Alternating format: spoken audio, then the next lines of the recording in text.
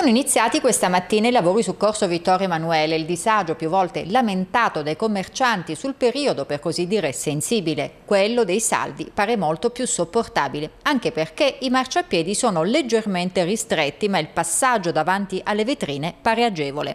Come sono stati programmati i lavori? Allora, con un accordo con le categorie produttive alle quali viene rivolto un ringraziamento da parte dell'amministrazione si è deciso di organizzare in due step questi lavori che partono oggi e che dureranno fino al 21 agosto nel tratto da Corso Umberto fino a via Genova con la possibilità però per i residenti di accedere eh, attraverso via Emilia. Dopo il 21 agosto fino alla data presumibile dell'8 settembre invece si passerà alla parte sud di Corso Vittorio Emanuele e quindi al contrario ci sarà un divieto di transito nella parte proprio che andrà da via Genova, eh, eccezione fatta per i residenti, è sempre fermo l'utilizzo di via Emilia, fino a tutto il tratto che va fino a Corso Umberto. Questo è stato eh, il punto forte del ragionamento che è stato condiviso con le categorie produttive e che ha trovato anche da parte loro comunque l'adesione.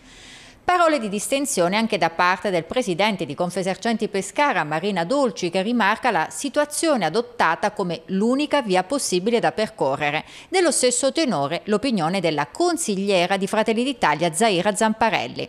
E se proprio dobbiamo trovare una virgola nei lavori bellissimi che si stanno eh, facendo, eh, forse quelle pensiline vederle al lavoro finito per capire se davvero le perplessità dei commercianti sull'impatto che potranno avere eh, sulle vetrine e sulle insegne è davvero fondata.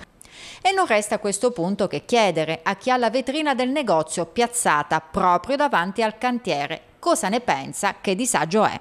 Ma nessun disagio, perché quando fanno delle migliorie per Pescara non è un disagio momentaneo, diciamo, perciò alla fine non è nessun disagio. Se mi consente vorrei fare però una mia considerazione che si esime da questa cosa.